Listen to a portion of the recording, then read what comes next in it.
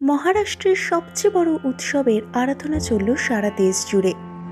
বাদ পড়েননি টলি তারকারাও, তারাও নিজেদের মতো করে বাড়িতেই করলেন পুজোর অর্চনা। নজর রাখুন আপনিও।